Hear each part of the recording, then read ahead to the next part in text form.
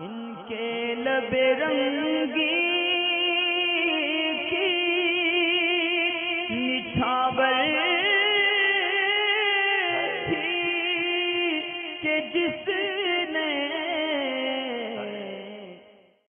असलकुम हाँ जी, मेरा सवाल है कि जैसे कि मैं सुना हूँ और सभी लोग शायद जानते हैं।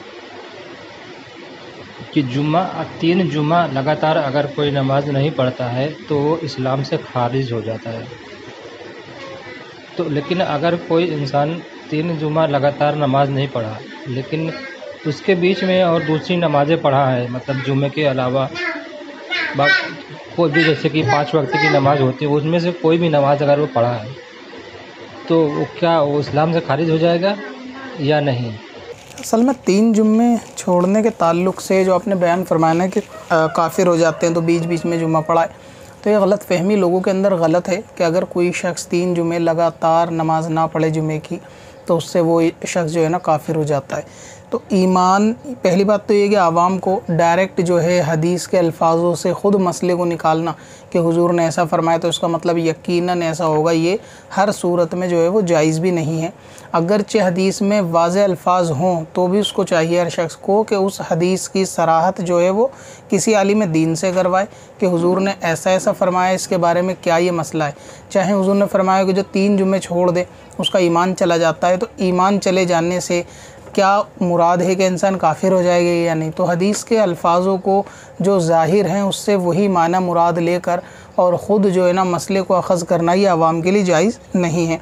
तो जहाँ हुजूर ने फरमाया कि ईमान तीन जुम्मे के ताल्लुक से तो वहाँ ने उस ईमान से मुराद जो है नूर ईमान लिया है। यानी ये कि ईमान की लज्जत या उसका नूर चला जाता है और बाज़ाहिर जो है इंसान वो मुसलमान रहता ही है। लेकिन जो ईमान के एक आला दर्जे होते हैं ना वो उसके दिल से जो है वो निकल जाते हैं, यानी उसका दिल ईमान के मामले में कमज़ोर हो जाता है।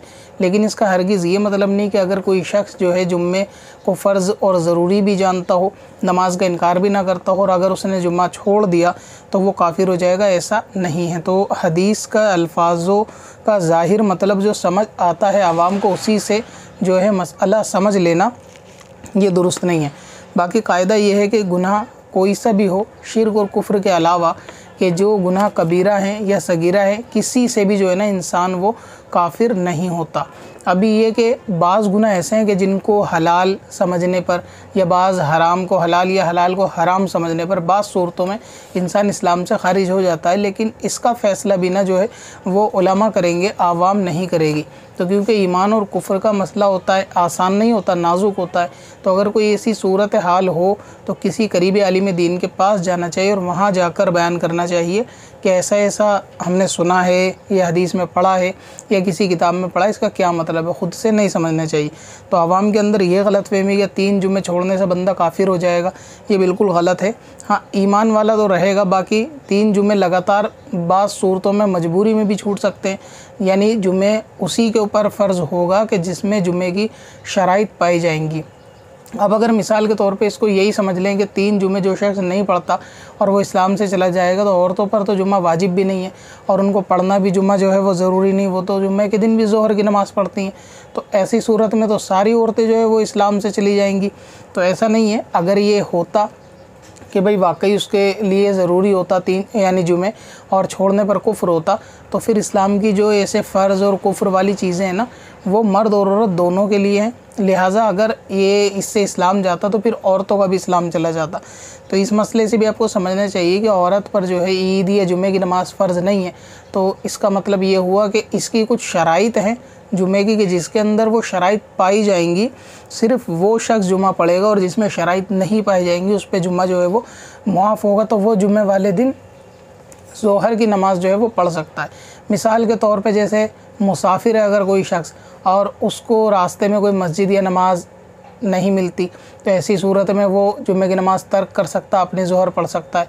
या फिर ये कि कोई शख्स ऐसा है कि वहाँ पर करीब में जो मस्जिद है वो सही अकीदा सुन्नी नहीं है। मिसाल के तौर पर समझें कि अगर किसी के करीब में जहाँ वो शख्स गया है किसी मजबूरी से, वहाँ जो है वो कादियानियों की मस्जिद है तो क्या शख्स वहाँ पे जुम्मा पड़ेगा उस पर जुम्मा फ़र्ज़ हो जाएगा? तो जुम्मे की फ़राइज़, फ़र्ज़ होने की जो सूरतें हैं, उसके अंदर आदमी का मुकीम होना और साथ में इमाम का भी सही अकीदा सुन्नी होना ज़रूरी है, क्योंकि बद मज़हब, बद अकीदा की इमामत दुरुस्त नहीं है। और जब इनकी इमामत दुरुस्त नहीं है तो वो पंजगाना नमाज़ की हो या जुमे की हो, उनके पीछे नमाज़ नहीं हो सकती। तो ऐसी सूरत में भी बंदा जो है वो जुमे की नमाज़ को तर्क करके अपनी जहर की नमाज़ जो है वो पढ़ेगा। तो अगर बीच बीच में नमाज़ पढ़ी है किसी ने तो वो अपनी नमाज़ का जो है ना सवाब पाएगा, जो नमाज़ें उसने पढ़ी हैं। लेकिन इस डर से बंदा बीच बीच में नमाज़ पढ़ रहा है कि भाई जुम्मा मैंने नहीं पढ़ा तो उससे इसके यानी काफिर होने का को कोई ताल्लुक नहीं है। बाकी जिसने जुम्मे की नमाज़ कसदन छोड़ी, वो गुनाह कबीरा ज़रूर है, लेकिन कुफ्र उसमें नहीं है, जब तक ये नमाज़ को फ़र्ज़ जानता हो। और उसके लिए तोबा करे और उस दिन की जो है ना कज़ा नमाज़ों के अंदर, जहर की नमाज़ जो है वो कज़ा पढ़े और अगर जुम्मा नहीं मिलता तो बंदा तनहा जो है जहर की नमाज़ पढ़ सकता है। तो किसी के लिए जुम्मा छोड़ने पर कुफ्र का हुक्म नहीं देना चाहिए और आवाम को तो वैसे भी किसी भी मामले में कुफ्र का हुक्म नहीं देना चाहिए। उसको चाहिए कि उलमा के पास जाकर, किसी मस्जिद के इमाम के पास, आलिम दीन के पास जाके जो है ना मसले की तशरी करवा लें कि भाई ऐसा ऐसा मामला है, क्या हुक्म है?